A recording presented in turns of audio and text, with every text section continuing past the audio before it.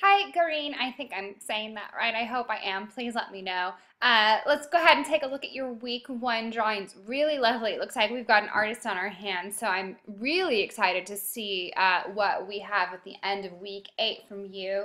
Uh, this is really lovely. I love that you're thinking of, you know, light and shadow here. Uh, you're, you know, you're giving this kind of depth of these kind of little corners of the nose and, you know, the little um, cupid's bow here of your lip and the shadows of the nostrils, all this looking really, really nice. Uh, we're slightly, slightly off on this angle here. Um, but overall, I mean, I think you're doing a really beautiful job. So let's just keep pushing uh, some of those things, maybe refining some of these small details, and uh, we're in really good shape already in, in week one.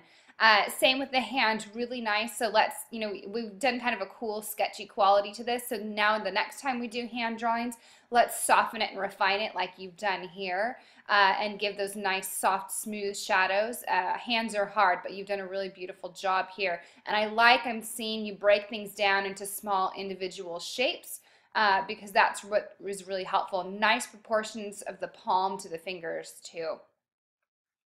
Uh, for the corner of the room, yeah, you know, you, you, know, this is a freehand drawing of a corner, so nice sense of perspective here, keeping these lines all, you know, the same. And so we'll do a linear perspective project where you'll get to dive into that in more detail.